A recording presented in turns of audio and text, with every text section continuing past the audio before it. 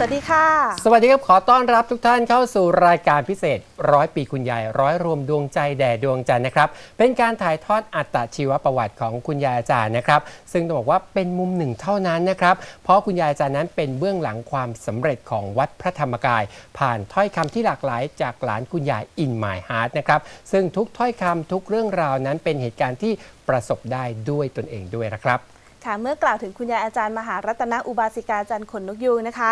ท่านเปรียบเประหนึ่งเพชรน้ำเอกดวงหนึ่งของพระพุทธศาสนาค่ะ เพราะท่านนั้นงดงามด้วยคุณธรรมภายใน และคุณูปการต่างๆ มากมายค่ะ สมกับที่บุคคลทั้งหลายกล่าวสรรเสริญและยกย่องค่ะ และในวันนี้นะคะ เราจะมาเปิดประวัติศาสตร์ชีวิตหน้าสำคัญค่ะ เพื่อรับฟังเรื่องราวดีๆเพราะฉะนั้นนะคะ เตรียมหัวใจใสๆไว้ได้เลยค่ะ ครับขณะที่ชมนะครับก็อย่าลืมที่จะส่ง SMS นะครับเป็นข้อความไม่ว่าจะเป็นคุณธรรมของคุณยายที่ประทับใจ หรือเป็นเทคนิคในการทำหน้าที่นะครับ ส่งมาได้ที่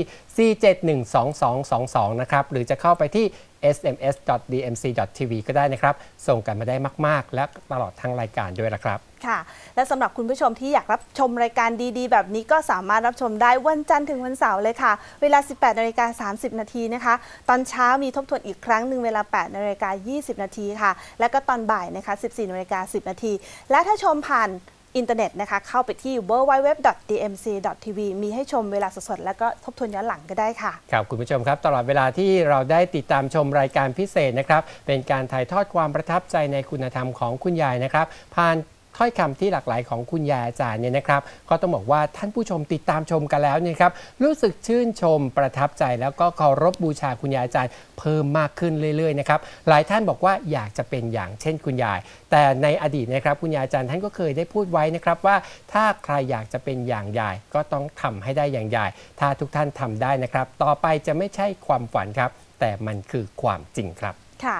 และเพื่อต่อยอดความฝันของคุณผู้ชมที่มีหัวใจเป็นดวงเดียวกันกับคุณยายนะคะ จะขอน้อมนำเอาคำพูดที่ถือว่าเป็นกุญแจดอกสำคัญ ที่ทำให้ความสำเร็จเกิดขึ้นค่ะ และก็เพื่อเป็นกำลังใจให้กับทุกท่านนะคะ ที่อยากจะมีคุณธรรมหรือคุณวิเศษแบบคุณยายอาจารย์นะคะ คุณยายกล่าวว่าอย่างนี้ค่ะว่า เพียงแค่เราทำอะไรก็ตาม ขอให้ทำให้จริง ยายมีจริงตัวเดียวเท่านั้น ยายทำได้สำเร็จ ถ้าชาตินี้